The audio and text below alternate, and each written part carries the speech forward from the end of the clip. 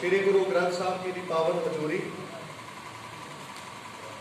ਸ੍ਰੀ ਗੁਰੂ ਰਵਿਦਾਸ ਜੀ ਮਹਾਰਾਜ ਦੀ ਚਰਨ ਛੋਹ ਪ੍ਰਾਪਤ ਕਰਤੀ ਜੁੜ ਬੈਠਿਆ ਸਾਰਾ ਸੰਤ ਸਮਾਜ ਔਰ ਸਮੂਹ ਸੰਗਤ, ਵਿਸ਼ੇਸ਼ ਤੌਰ ਤੇ ਸ੍ਰੀ ਗੁਰੂ ਰਵਿਦਾਸ ਜੀ ਸਾਧੂ ਸੰਪਰਦਾਇ ਸਹਿਤੀ ਮਾਨਯੋਗ ਚੇਅਰਮੈਨ ਸਾਹਿਬ, ਸਤ ਬਾਬਾ ਜੀ ਦੇ ਕਿਰਪਾ ਡੇਰਾ ਪਟਵਾ ਜੀ। ਸੋਸਾਇਟੀ ਦੇ ਪ੍ਰਧਾਨ ਸਤ ਬਾਬਾ ਸ਼੍ਰੀ ਕੁਲਵੰਤ ਰਾਮ ਜੀ, ਘਰੋਂ ਗੁਜ਼ਾਰਾ। ਗੋਬਿੰਦਪੁਰੇ ਡੇਰੇ ਤੋਂ ਮਾਨਯੋਗ, ਸਤਿਕਾਰਯੋਗ ਸੰਤ ਸ਼੍ਰੀ ਸ਼੍ਰੀ ਦੇਸਰਾਜ ਜੀ।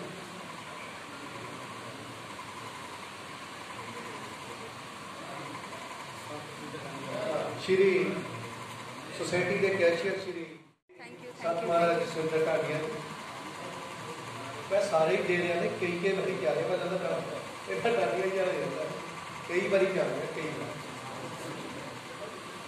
ਸਤਿਕਾਰਯੋਗ ਸਾਧ ਸੰਗਤ ਜੀ, ਅੱਜ ਮੈਂ ਜਦੋਂ ਸਵੇਰੇ ਨਹਾ ਰਿਹਾ ਸੀ, ਮੈਨੂੰ ਡਾਕਟਰ ਸਤਪਾਲ ਜੀ ਦਾ ਫੋਨ ਆਇਆ ਸੀ। ਤੇ ਤਿਆਰ ਹੋ ਕੇ 7 ਵਜੇ ਤੁਸੀਂ ਗੱਡੀ 'ਚ ਬੈਠ ਕੇ ਦਵਾ ਜਾਂਦੇ ਇਹ ਉਹਨਾਂ ਨੂੰ ਪਤਾ ਸੀ ਮੇਰੇ ਬੇਟਾ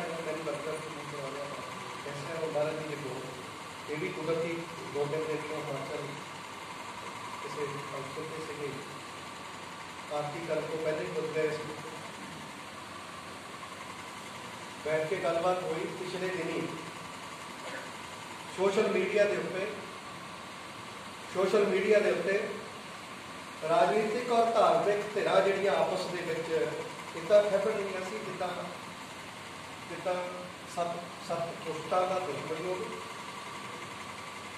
ਔਰ ਇੱਕ ਦੂਜੇ ਦਾ ਗਲ ਵੱਡੇ ਤੋਂ ਬਗੈਰ ਮਤਲਬ ਇਦਾਂ ਲੱਗਦਾ ਸੀ ਕਿ ਛੱਡ ਦਿੱਤੀ। ਪਾਰਟੀ ਦੇ ਜਿਹੜੇ ਵਰਕਰ ਸਮਾਜ ਹੈ ਜਿੰਨੇ ਵੀ ਕਿਸੇ ਵੀ ਪਲੇਟਫਾਰਮ ਤੇ ਆ, ਕਿਰਪਾ ਕਰਕੇ ਆਪਸ ਦੇ ਵਿੱਚ ਸੋਸ਼ਲ ਮੀਡੀਆ ਤੇ ਛਿੰਝ ਨਾ ਪਾਈਏ ਇਹ ਛਿੰਝ ਨਾ ਪਾਈਏ ਆਪਾਂ। ਇਸ ਛਿੰਝ ਦਾ ਨੁਕਸਾਨ ਗੁਰੂ ਰਵਿਦਾਸ ਜੀ ਦੇ ਬੇਗਮਪੁਰੇ ਸੰਕਲਪ ਨੂੰ ਹੋਣਾ ਹੈ, ਕਿਸੇ ਨੂੰ ਨਹੀਂ ਹੋਣਾ। ਕਿਸੇ ਨੂੰ ਨਹੀਂ ਹੋਣਾ ਆਜ਼ਾਦੀ ਦੇ 73 ਸਾਲਾਂ 'ਚ। ਅਬ ਮਸੀਹ ਮੌਕਾ ਮਿਲਿਆ ਕਿ ਐਤਕੀ ਆਪਾਂ ਸੱਤਾ 'ਚ ਜਾ ਸਕਦੇ ਆ ਤੇ ਦੁਸ਼ਮਣ ਇਹ ਚਾਹੁੰਦਾ ਕਿ 6 ਮਹੀਨੇ ਪਹਿਲਾਂ ਆਪਸ 'ਚ ਲੜ ਮਾਰ।